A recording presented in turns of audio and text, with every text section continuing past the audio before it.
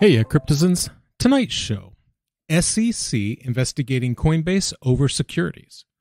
Bipartisan effort to make less than $50 crypto tax free.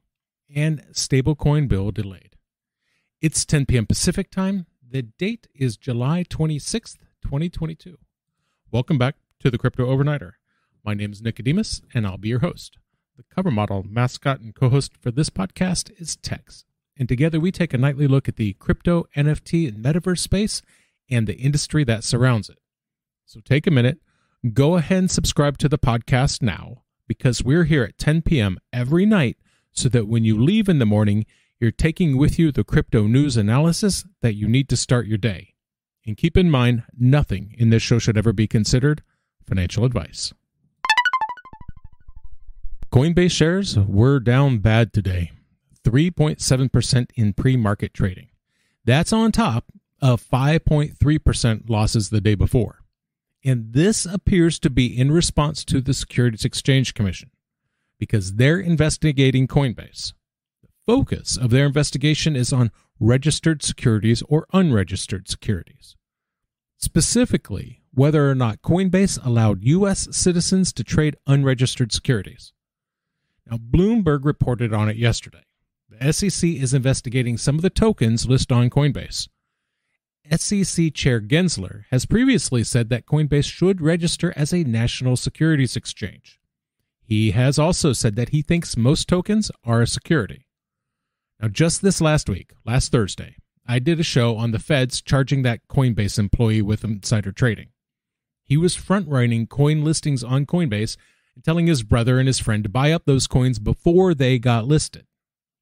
Now, the second part of that show was about the SEC.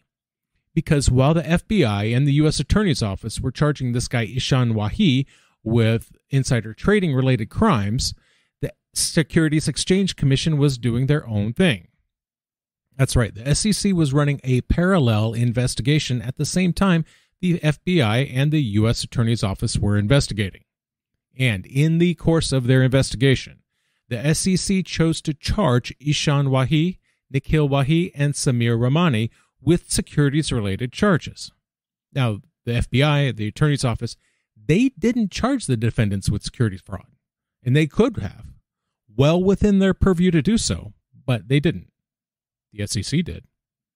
At the time, the SEC identified a number of coins that are listed on Coinbase that were identified by them as securities. Nine tokens were picked out specifically.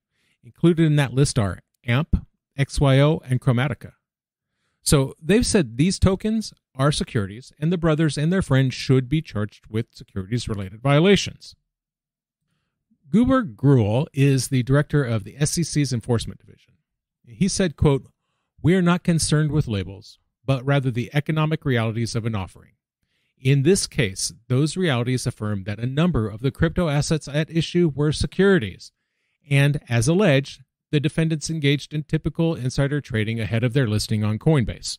Rest assured, we'll continue to ensure a level playing field of investors regardless of the label placed on the securities involved. Now, just from my point of view, legally, labels are very important because those are what define things, but whatever. This does seem to be a very these aren't the droids you're looking for kind of response. Like, that's not what transitory means. That's not what recession means. It's an interesting way of going about this because it doesn't require an actual decision on each token beforehand. Just declare it an unregistered security in the charging documents and then make the defendants prove that it's not an unregistered security. Because this isn't a court case. No, when the SEC is doing its thing, it's an administrative hearing. So the same rules do not apply. When they go after the Wahi brothers and they get them in front of the administrative law judge, Coinbase won't be there. None of the DAOs or the companies or the foundations behind these tokens are on trial. They won't even be in the room. So the Wahi brothers will be convicted, and then that case will be used to go after others, like Coinbase. So it seems like yet another attempt to use administrative rulings in the area of regulation to expand authority the SEC and Director Grewal were recently called on the carpet for extrajudicial regulatory activities, basically imposing on companies not even in their jurisdiction.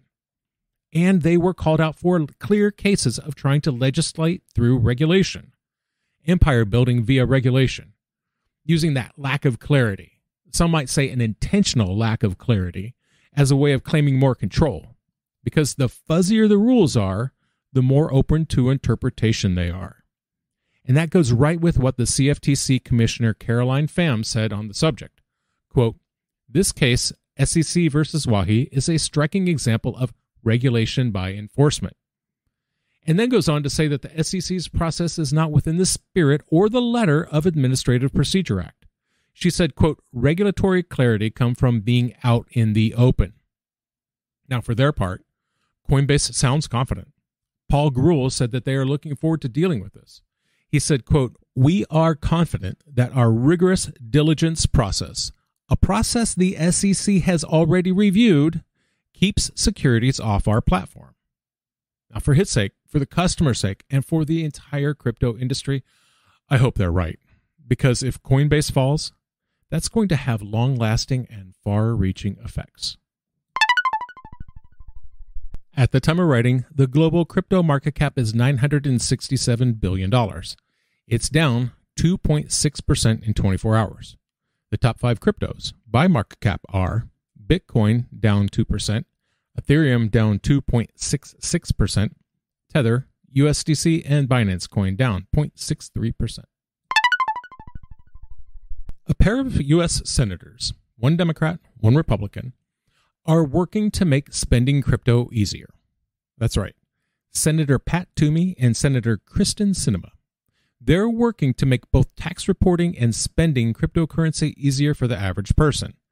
Basically, getting rid of taxes on crypto expenditures of 50 bucks or less. Because right now, the IRS is the enemy, at least as far as spending crypto on everyday purchases goes. Why? Because cryptocurrency isn't seen as currency.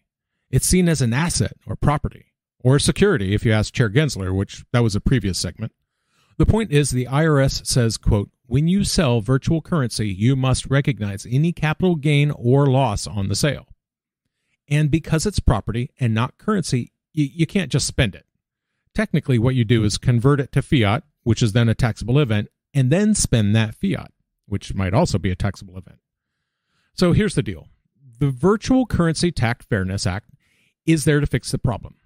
Senator Toomey and Senator Sinema are putting this forward as a way to get rid of the tax requirements on small crypto expenditures. That kind of lines up with legislation put forth last February in the House. Basically, the only difference is the amount of money concerned 50 bucks versus 200. Also, the idea of cleaning up the tax reporting process around small expenditures showed up in another bipartisan effort. Senators Lummis and Gillibrand put forward a much more comprehensive crypto regulatory package, the Responsible Financial Innovation Act. That is a much broader, more expansive legislative effort that really isn't likely to see the light of day. Certainly not anytime soon. So there's been a number of legislators and representatives that have heard the complaint. Taxing crypto like property guarantees it won't be usable as currency. I mean, who wants to record a tax event because they stopped by Starbucks for a mocha on the way home? Senator Toomey said, quote, while digital currencies have the potential to become an ordinary part of Americans' everyday lives, our current tax code stands in the way. Toomey is due to retire soon. He's working with the crypto industry on a number of different fronts before he retires at the end of this session and he is on his way on that score. You know, the bill will let people, quote, use cryptocurrencies more easily as an everyday method of payment by exempting from taxes small personal transactions like buying a cup of coffee, which is an increasingly valid point. Who wants to pay up to 20% capital gains to cover the cost of a cup of joe? I think it's instructive that so many different legislative concepts have emerged this legislative cycle centered around this very thing. And frankly, the fact that every single one of these proposals is a bipartisan effort, that's everything to me. The U.S. political scene is best described in terms usually reserved for describing battlefields or triage wards. It's not a pretty place. So the fact that not one, not two, but three bipartisan teams are working together to fix this issue is both surprising and a little heartwarming. A little. We'll see if anything actually gets accomplished. Frankly, I don't expect anything to happen this year. It's too close to the midterms to let anything weird through the legislative process. Besides, the teams are too busy showing how different they are from each other than to cooperate. That said, I hope this bipartisan trend continues. I firmly feel that if crypto becomes a left versus right issue, then both sides are going to lose. The global NFT market cap is down 18.57%. Sales volume is down 0.86% in 24 hours. According to CoinMarketCap, the top five NFT collections by sales volume are Mutant Apes, followed by Other Side, Bored Apes, CryptoPunks, and Moonbirds. Now keep in mind, some of these collections have very volatile prices, so do your own research. Now, we were just talking about how inter party cooperation is a needed and scarce thing. Here's another example.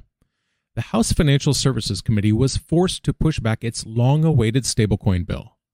This is likely to push it back to September due to objections raised by Treasury Secretary Janet Yellen.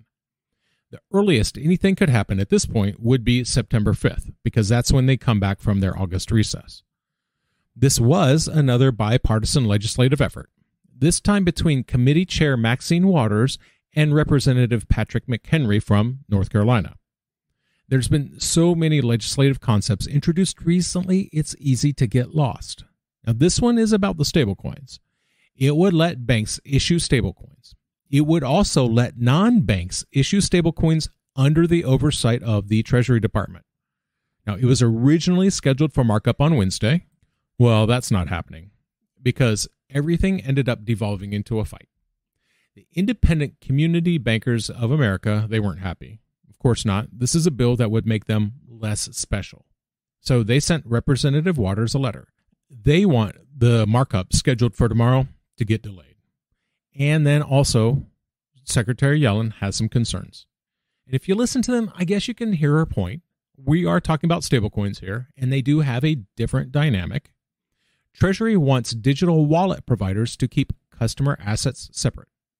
This is to preserve the capital of investors in case something goes awry, like a bankruptcy. Seems to be happening a lot these days.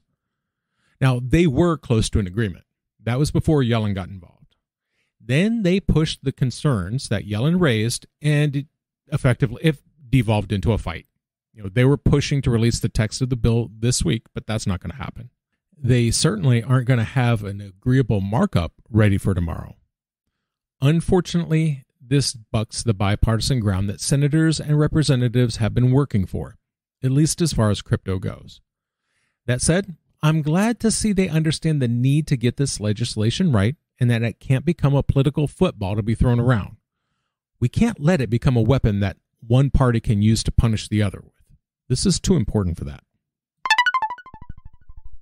And that's going to do it for us tonight. I want to thank you, my listeners, because when you stop listening, I will stop talking. You stay safe out there. Watch out for yourselves, but watch out for each other too. We'll see you tomorrow night.